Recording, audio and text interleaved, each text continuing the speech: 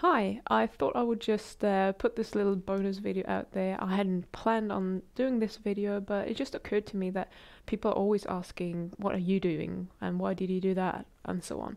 So I'm just going to share with you. I'm probably going to make another video or two on this, short ones, because I started um, another fast, and I'm at the moment I'm about 66 hours in and it's a water fast. So I'm just drinking water. I've had a cup of herbal tea or two, actually, but that's it. Otherwise, I'm drinking what we call snake juice, so that is water with potassium chloride, sodium chloride, as in Himalayan pink salt, and some sodium bicarbonate.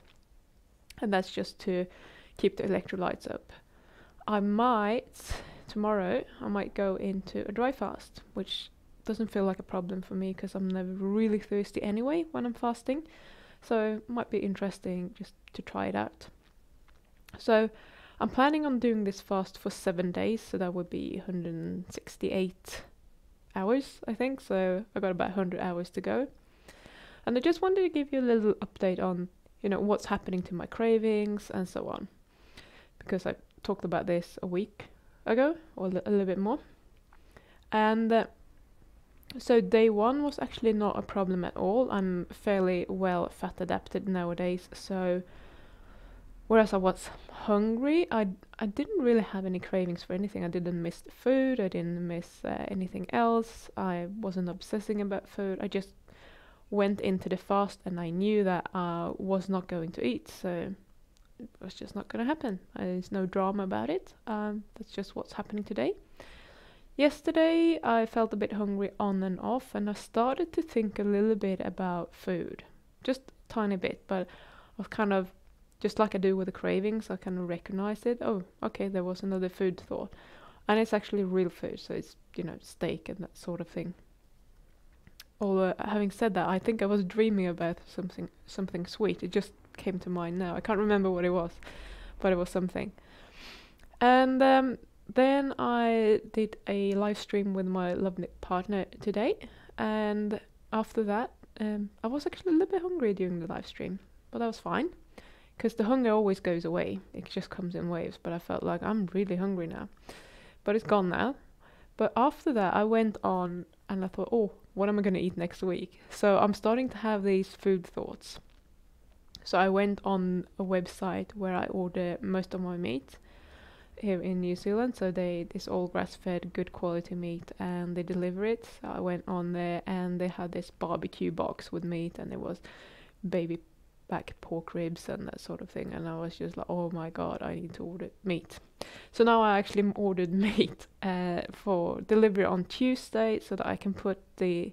I had a they had a four kilo brisket that I'm gonna put in the slow cooker on Wednesday morning and on Wednesday evening which is where it will be seven days I'm going to eat some brisket. Uh, I might have to start with eating some, because uh, I haven't done a seven day fast before, so I might have to start with actually having some chicken stock that I have in the freezer and just, you know, get myself back to um, digesting foods again. But at the moment, my mind is very focused on eating um, food. So it was I hadn't planned on going online and order meat because I have some I have some good meat in the freezer. We have some steaks and um, some uh, pork butt that we can make pulled pork of and so on. So there, there's plenty of food here. So this was totally unnecessary, if you like.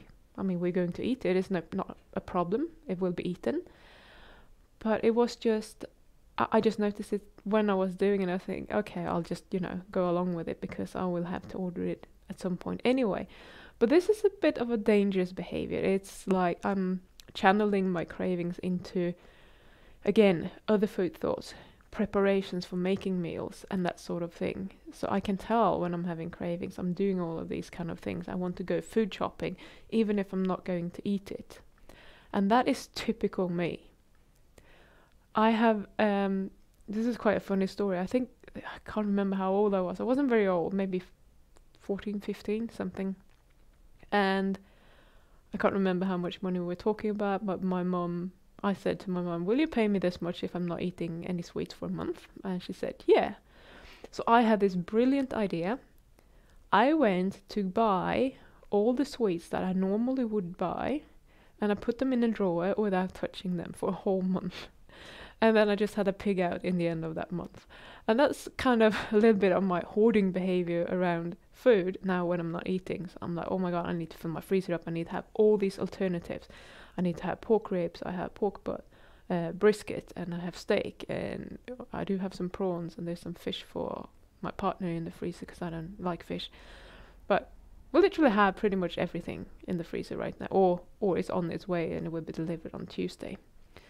So this is something that I haven't actually thought about it until today, but this is something that I tend to do. I tend to go and start hoarding whatever it is I'm craving because I know that I can have it later on.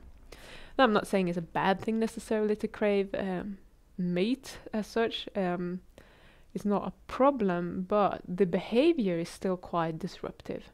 Because rather than doing some work that I needed to get done, I spent, I don't know, half an hour, 45 minutes just browsing meat online and say, oh, what do I want? What do I want to do this? Or do I want to do that? Will I have time in the slow cooker? Will it be ready on time? And I'm just thinking about food rather than being productive. So I wouldn't say that it's um, an entirely healthy behavior, and it's something that obviously now when I'm aware of, I'm going to have a look at it and try to address it because it's not the best thing for me to be doing. But anyway, I just thought I would share a little bit what's going on with my cravings, and I'll probably make an update in a couple of days, um, tell you how I'm getting on. So far, it's mainly okay, but it's this this thing that just happened. It's not a huge deal, but it's quite telling that my body is starting to say, "Hey, where's the food?" And I've never fasted longer than three days, so it might be that my body is like, "Hmm, okay, we're at three days almost. There's not many hours to go, and we're ready to eat."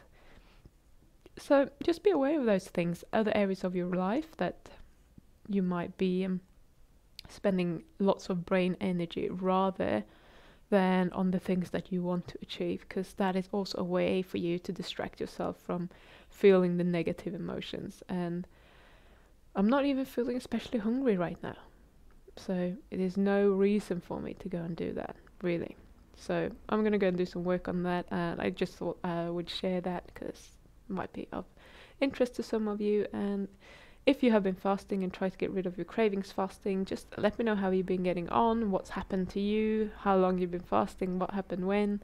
It's all good knowledge and it could be a guideline for other people who wants to do the same thing. So, thanks for watching. Have a good day. I'll speak to you later.